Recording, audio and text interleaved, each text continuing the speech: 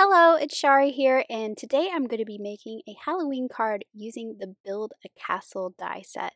So I'm going to be making a spooky castle for today's card.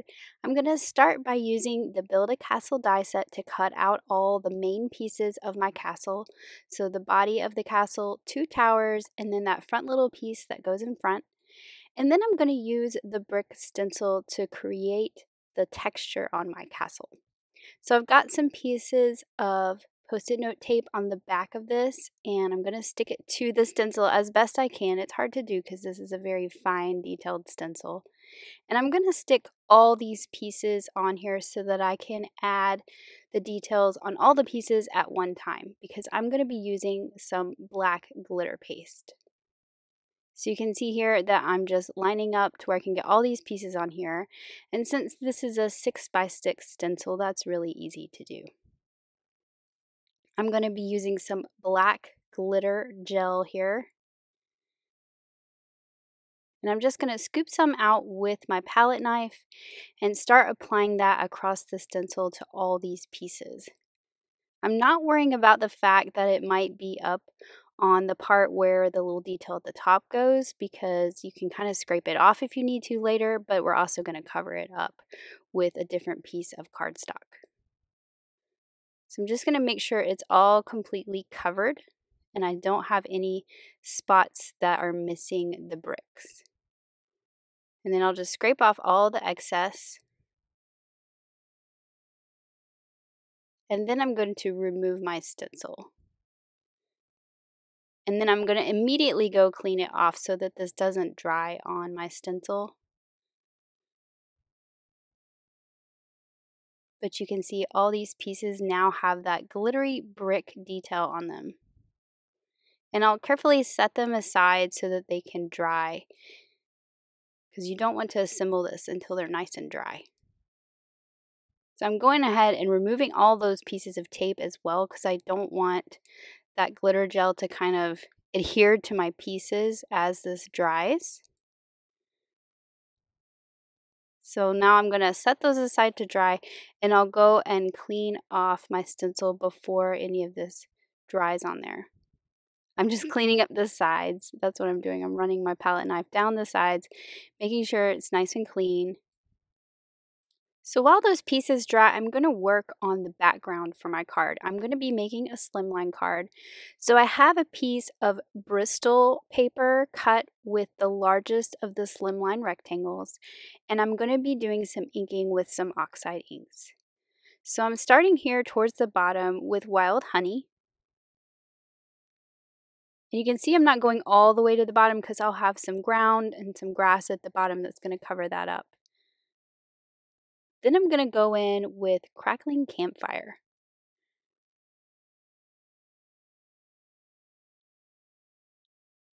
And then I'll just go back and forth between the two till I have a nice blend between the two colors.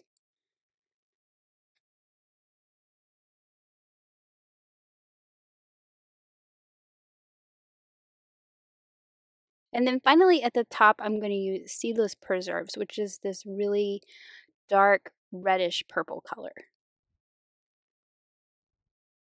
So this is going to be my spooky sky behind my spooky castle. So again, I just put that towards the top and then I'm going to go in with the crackling campfire and back and forth between that and seedless preserves until I get a nice smooth blend between the two colors.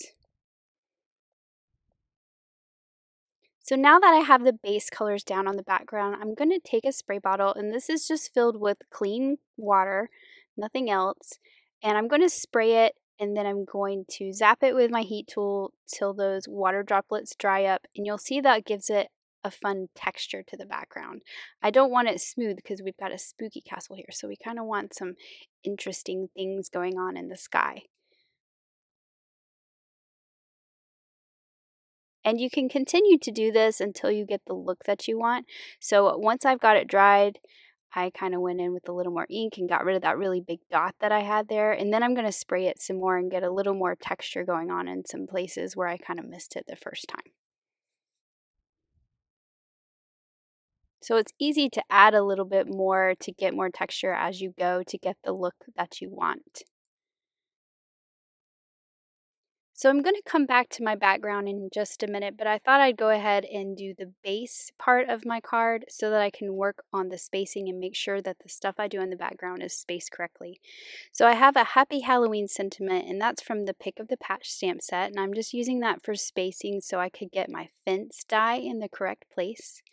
Again, this is cut from the Bristol cardstock, just like the background, and I'm using some Hickory Smoke Distress Oxide to color it.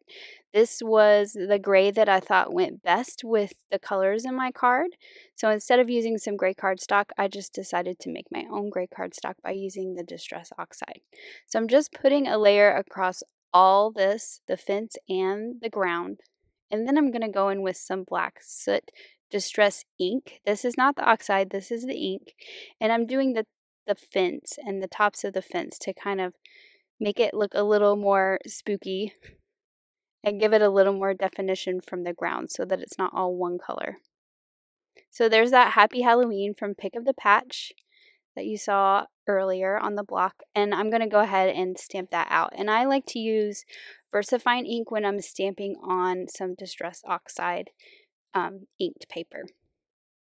So I'm going to be using some more die cut elements from a couple other die sets. This little tree is from the Scallop Treat Box Haunted House add-on and I cut it from some of the wood grain cardstock but I wanted it to be a little bit darker so I'm just adding a layer of Vintage Photo Distress Oxide to it.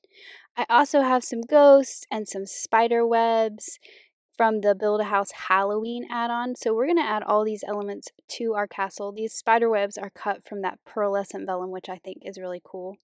And then I'm also using a few stamped images. The tombstones here are from the Spooktacular stamp set, and I'm actually going to fussy cut those out so that they look like they go with all the die cut pieces a little better. You don't have that border around them.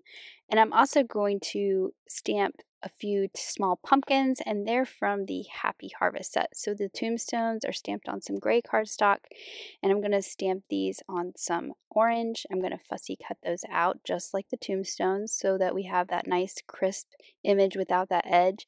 And then I just went in with a green colored pencil and colored in the stems of these. So I've got a piece of black cardstock cut with that same slimline rectangle. It's just going to be the bottom. I've also cut a circle from some vanilla malt cardstock, which is that creamy color cardstock, not white. And I'm just working on my placement of where everything's going to go so that I can die cut the bottom correctly.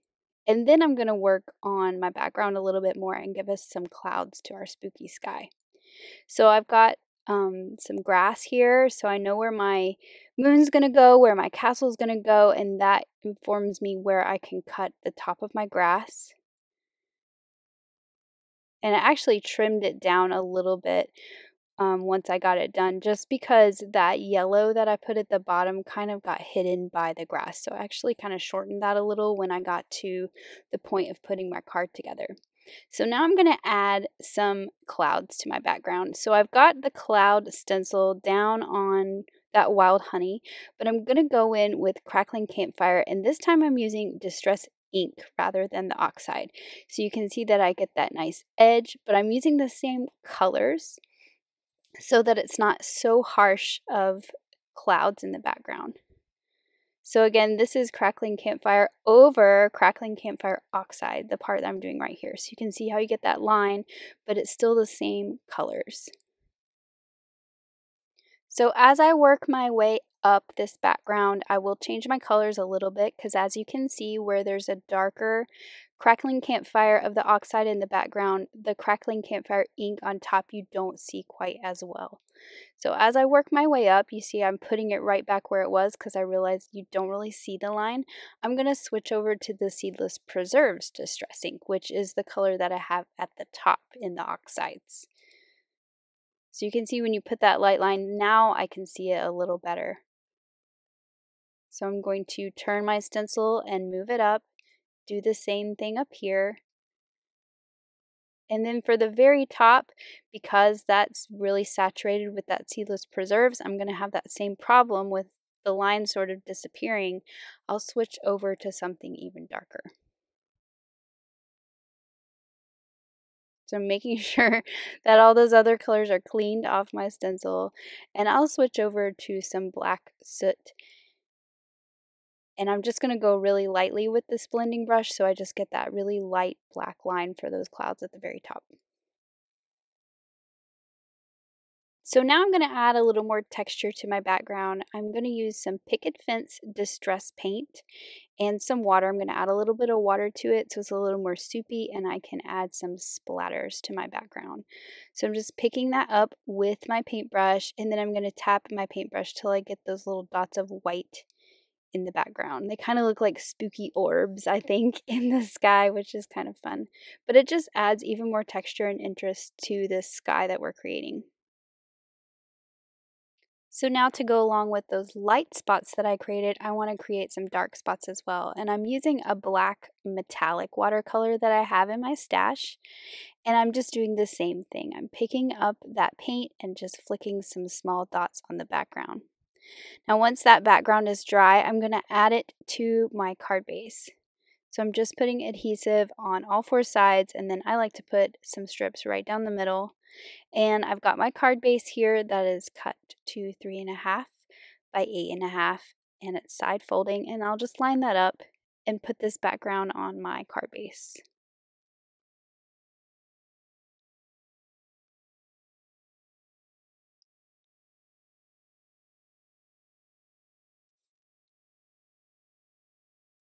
So now I can start to assemble some of the things and I'm going to put my little gray fence that I created onto the black grass that I die cut. So this is going to be the bottom of my card. And then I'll just go ahead and adhere that right directly down to my background.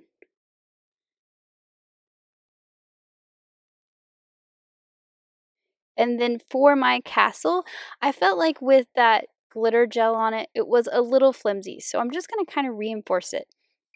So I've die cut all those same pieces again from that storm cloud cardstock. And I'm just going to layer the pieces together so they're a little thicker and a little more sturdy. And of course, I'm going to do that to all four of the pieces you see here, the body, the two towers, and the front piece.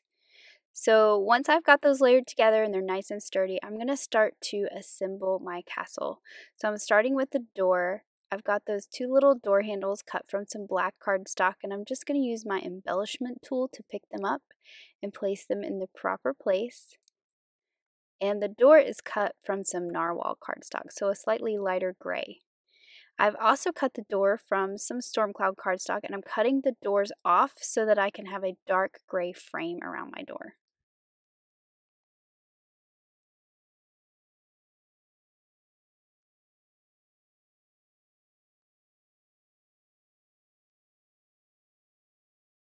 So for the tops of all the towers, I've just cut those detail pieces from some black cardstock.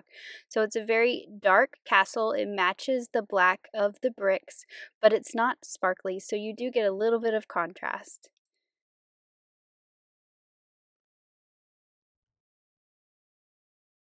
And you can easily line those up with the die cut top of the towers and the castle. So I have the two pieces that go in the castle. This shorter of the two long ones goes at the top. And I'm going to go ahead and glue my towers on. And I'm using liquid glue, especially on this. I use liquid glue a lot, but especially on this because you're gluing it to that glitter paste. So it has a texture. So you want to make sure that it gets in those grooves and it sticks down really well.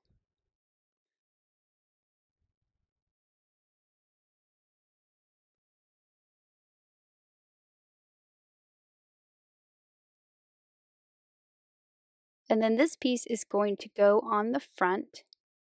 So I'm going to go ahead and put my door on here. Again, using that liquid glue because we're gluing it to that glitter paste and it has a lot of texture.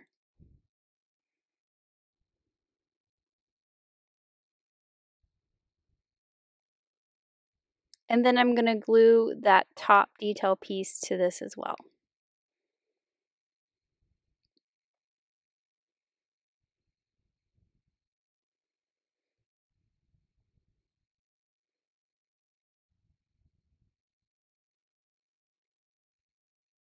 So here is the little frame for the window at the top. And you just need glue around the outside edges. And then here's our little spider web. So these are cut from that pearlescent vellum. And these are from the Build-A-House add-on, I believe. And they're a little big just as they are. So this one I trimmed down so it would fit above my door. So I just trimmed off one layer of the spider web.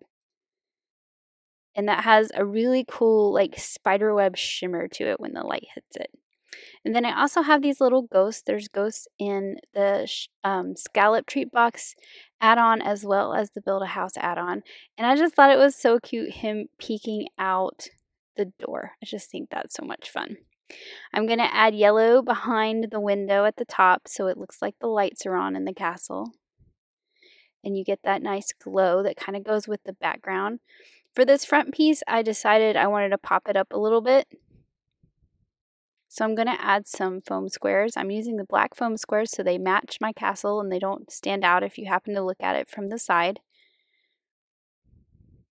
And I'm going ahead and putting that on before I put the little windows on the towers. That way I know where to place them. So I cut the frames from some narwhal cardstock and then the inside pieces are that yellow cardstock as well, so that those windows also look like they have a nice glow inside.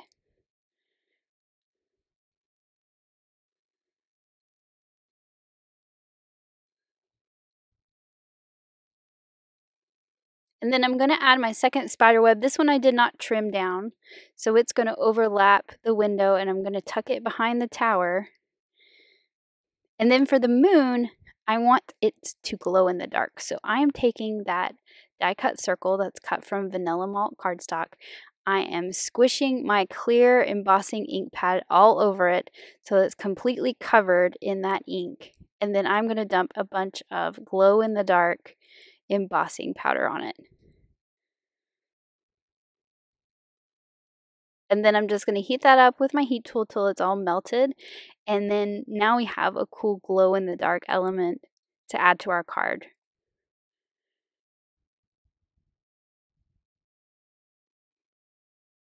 So it's still the same color, that kind of creamy color, but it will glow when you've got it in the dark, which I think is so much fun. So now I can place my castle at the top of my grass, and now I can figure out where my moon goes. So I'm going to tuck it behind the top of that castle. And I'm laying a block on it so it dries nice and flat. And now I can start to add some of my elements. So here's that spooky tree that I added the ink to earlier.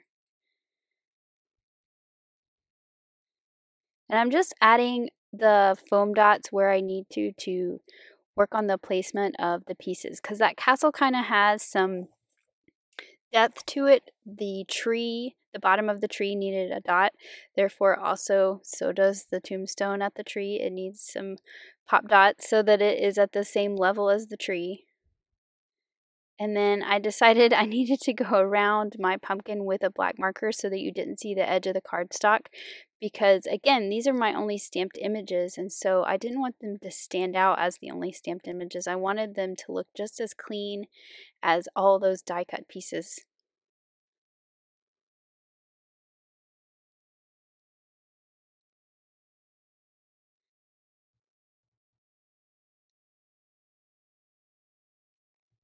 And I'm using the black foam squares for almost everything here because there is so much dark cardstock and these sort of blend in when you use them. So they're perfect for dark cardstock like this. This is a perfect application for them.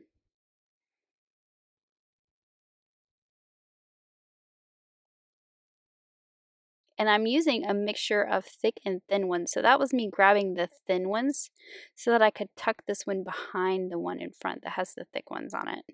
And I'm also going to add another little ghost here at the top. You can see I have those bats as well. They're not glued down just yet, but I am going to glue them up in the sky and I like how some of them overlap the moon.